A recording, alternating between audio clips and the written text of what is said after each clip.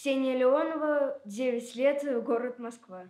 Ксюша, встань и начни делать уроки или что-нибудь полезное. Я никогда не лгу никому, ни друзьям, ни родителям, даже если это то, что надо скрывать. Я очень нервная.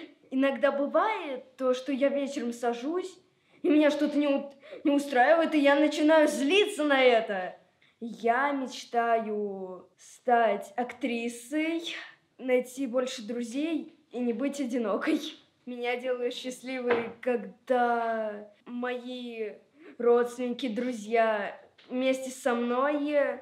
И еще мне очень нравится, когда меня обнимают, я рисую, играю в игры с папой и играю со своей собакой. Иногда это доходит до того, что он бежит на меня, и я падаю.